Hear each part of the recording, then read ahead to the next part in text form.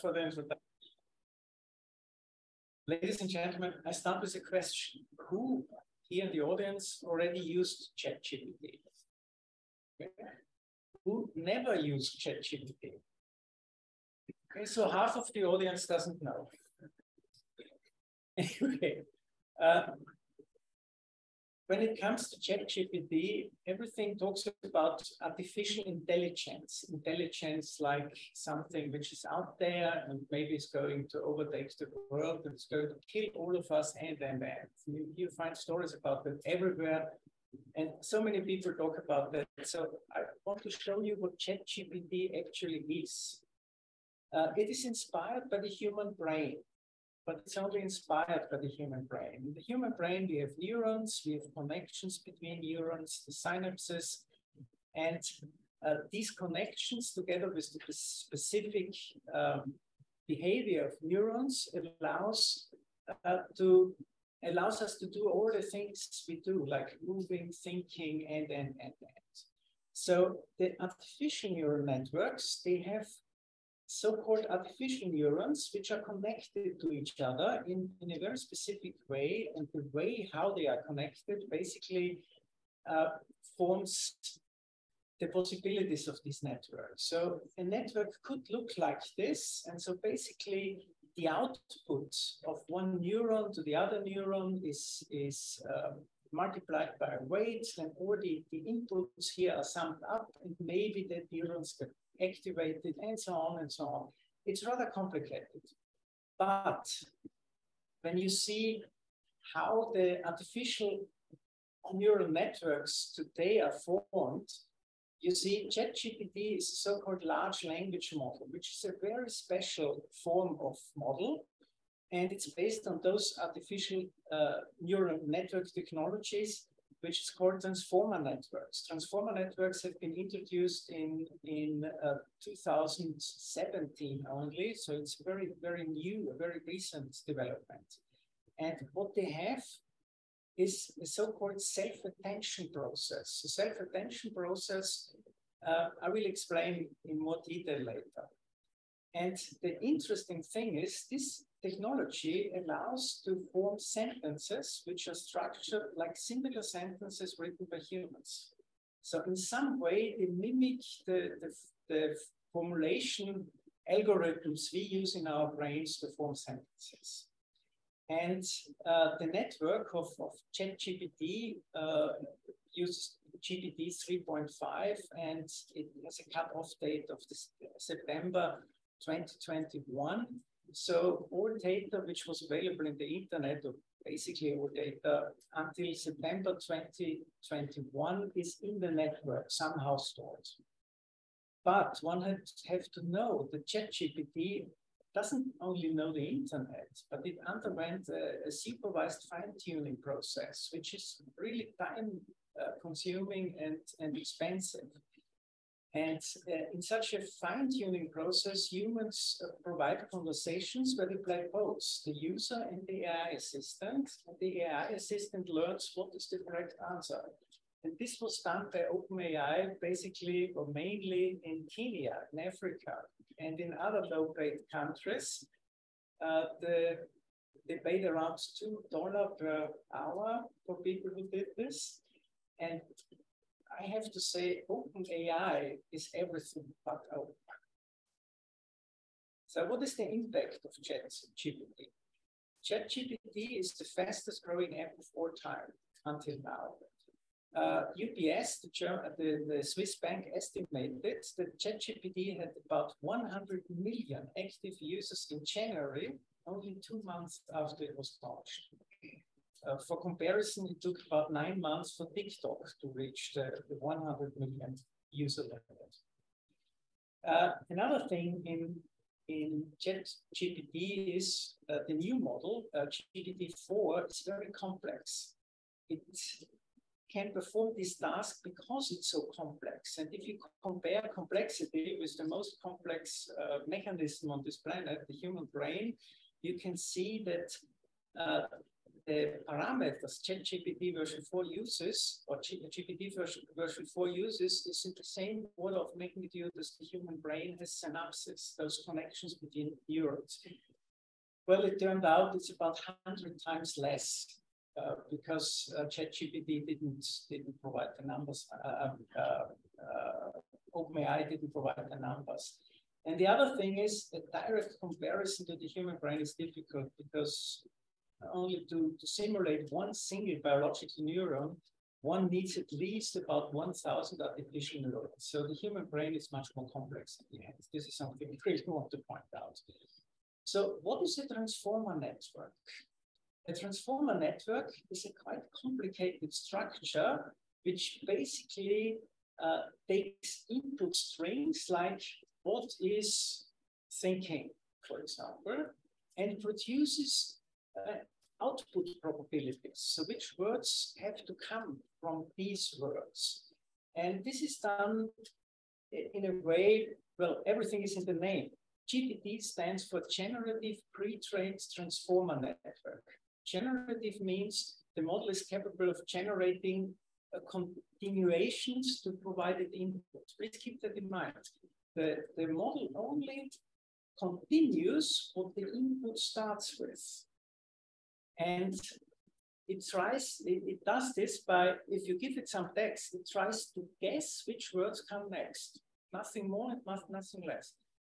Pre-trained means the model is pre-trained on a very large corpus of general text, which is taken from the internet. And transformer means it's a specific type of steps supervised encoder, decoder, deep learning model, whatever that is, with some very interesting properties that make it especially good at language modeling. Um, so words in a sequence append to other words because they capture some sort of relationship. Let's take the, the sentence. The alien landed on Earth because it needed to hide on a planet. So the word alien has some information or has some um, uh, relationship to land it. on doesn't have much relationship. Earth has relationship to alien, but also planet has a relationship to alien. The planet, but planet has a relationship to Earth, but not really to because, and not really to need it in that context. And the relationship isn't necessarily known. So this makes transformer networks so good in predicting. It can be uh, resolving uh, pronouns, it could be verb and subject relation, it could be two words relating to the same concept like earth and planet. And whatever it is, if you know that there are relations between words, it makes it possible to predict the next word. So the question arises, but why are large language models so powerful? Where does this power come from? And what do they really do in answering questions? And this is very simple. Large language models do exactly one thing. They take in a bunch of words and try to guess what word should come next. Mm -hmm. It's just a probability guess, nothing more. It's no thinking. And so please know, if you think this is reasoning or thinking, then it's only a very, very specialized and limited form. So there's no, no fear that these networks will do something on their own. They cannot do that. And large language models are trained on a massive amount of information scrapped from the internet. And this includes books, blogs, news, news sites, Wikipedia articles, Reddit discussions, social media conversations, and, and, and. And during the training, a snippet of text is, is um, taken from one of these sources, and the network is asked to guess the next word. That's all and it's trained what the next word is. And so it learns the probabilities of sequences of words following sequences of words. And why is ChatGPT so powerful? And this is very simple. It is important not to underestimate how diverse the text on the internet is in terms of topics. And ChatGPT has seen them all. So ChatGPT has seen billions of conversations on just about every topic, so it can produce words that look like it is having a conversation with you, but it is not. It has seen billions of poems about everything, and so it can produce text that looks like this poetry. But it depends on seeing these billions of poems before. It has seen billions of homework assignments and the solutions, so it can make reasonable guesses about homework, even if it's slightly different. Or it has seen billions of standardized test questions and their answers, billions. And do we really think that these year's questions are that different from last year ones? About. And it has seen billions of people talk about their vaccination plans. So it can guess words that look like vacation plans. Okay, so it's only a guess. It's it's not thinking. It's nothing in the end. So when you look in the number of parameters, the parameters basically are um, a measure what the, the model can be capable of. The more parameter, the more the model can, can uh, do. So uh, GPT-4, uh, the exact number is still unknown. They, they never uh, revealed the number. It's expected to be about 1 trillion. Uh, from Huawei, there's a network available which also has the same, same number of, of parameter Google has a network with 340 billion and, and, and, and these are only new LLMs in, in 20, uh, 2023. So we really can expect a huge, huge number uh, of new models coming up every month. When you ask ChatGPT, what are the benefits and risks of LLMs in the context of teaching? You get a very structured answer. The answer, the, the structure of answer always the, the response, let's say, to, to type of questions like this is always the same.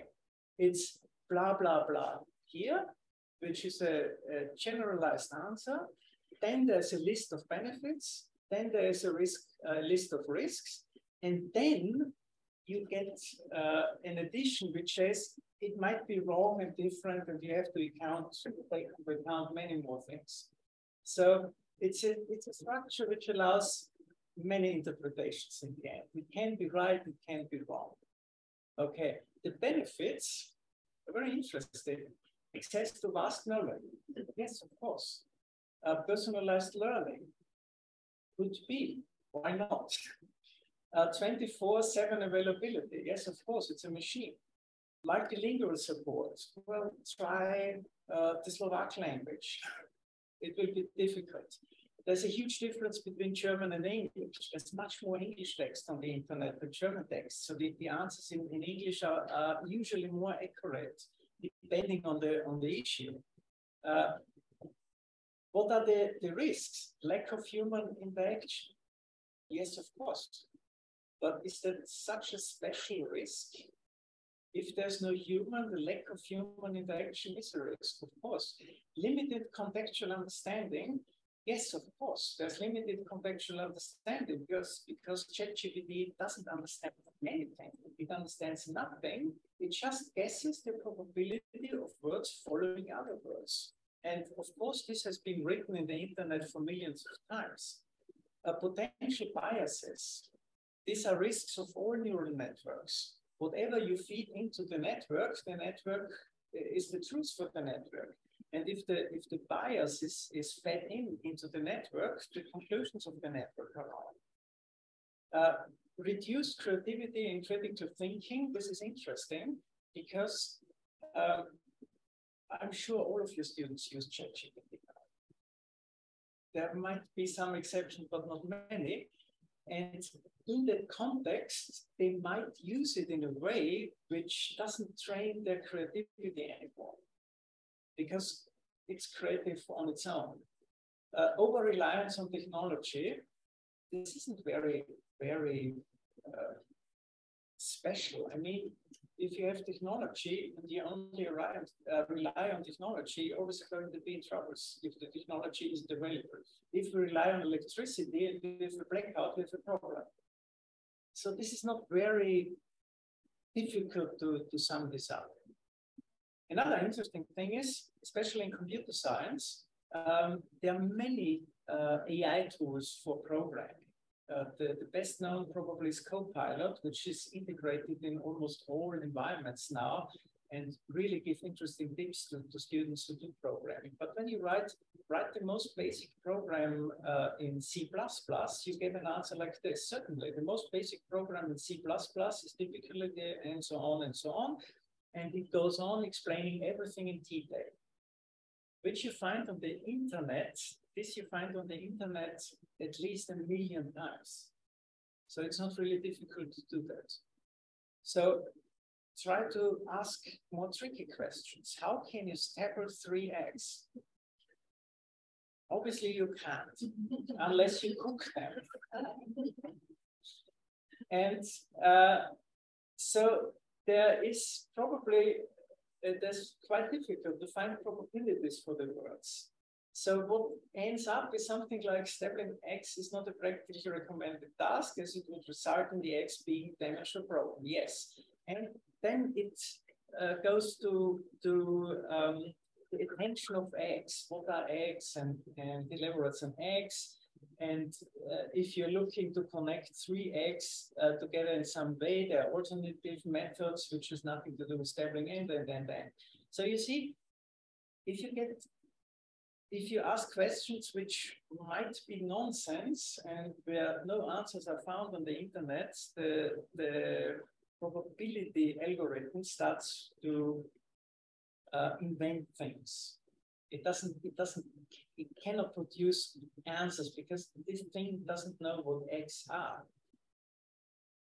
But let's get some more specific questions. How was the castle of Graz destroyed? This is easy to answer for me because I'm a citizen of Graz.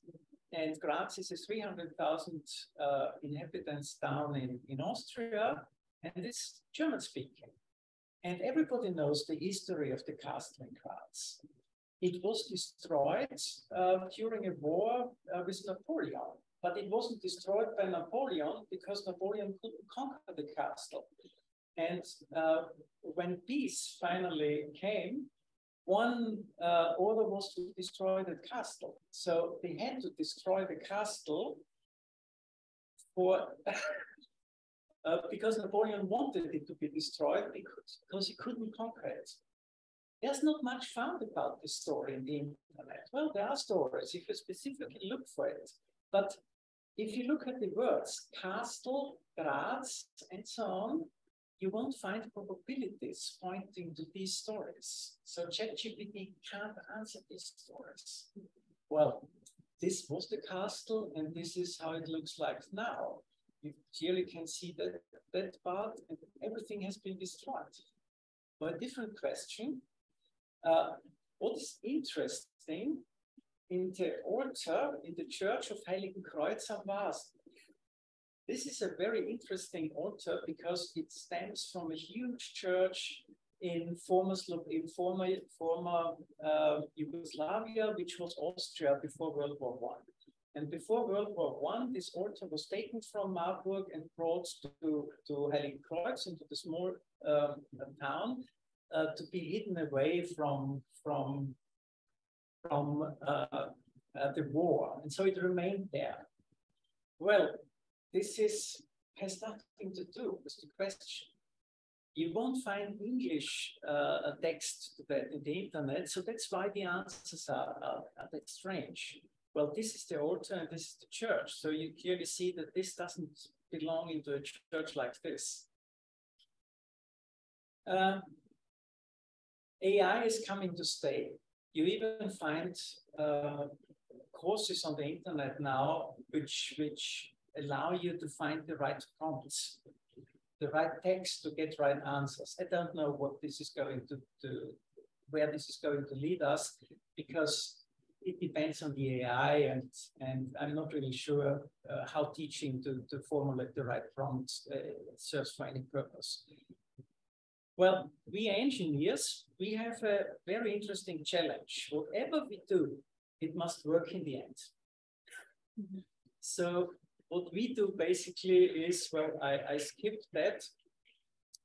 uh, we need AI to do our tasks better. So what we have to do is we have to incorporate uh, AI into our teaching.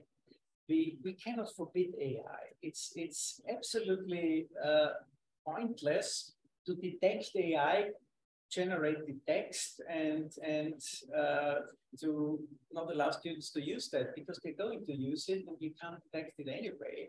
So you might you might uh, recognize a certain style, but it's more important to to concentrate on the result. So what we believe is, um, I go here. What we believe is we should we should concentrate on on what the students really understood. We should talk about the code that generates. And when it comes to scientific theses, the the general part, like the theory and and the summing up of, of principles, it isn't of any relevance anymore because you can do it with ChatGPT and any other AI tool. But the basic work behind that, what the student really does to solve a problem remains the same. This cannot be done by the AI system. So we have to focus on that. And uh, I don't know how many, much, uh, two minutes? Awesome, very good. uh, what we have to change, of course, is the way how we do exams. Hand in a program which does this and that, well, they hand it in but we don't know what they did. And so we have to focus on, on what we intend to teach. Uh, they have to solve some specific tasks and to, to look on how they did that. And at least they have to explain what they did. So I believe exams are going to be much more difficult in future than now.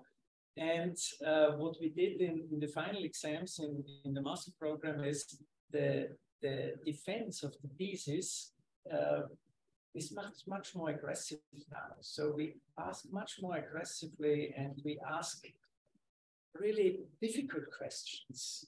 And uh, we, we challenge the students that they have to explain what they did and why they did it. So it's relatively easy to find out if they did the work, but it takes more time and it takes uh, time to to uh, teach teach us how to do that. Well, if we have uh, recommendations uh, for lecturers, the lesson themselves should be open to AIs. So everybody everybody can uh, do research on the uh, can can do search on the internet now, and everybody's going to use AI in the future for for whatever purpose. Well, the conclusions.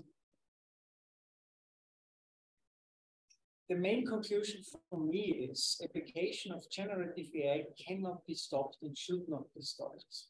We have to incorporate it into teaching and interactive performance assessments are the preferred to simply hand in seminar papers or homework and to maintain the competitiveness of our society, computer science education must proactively integrate this issue.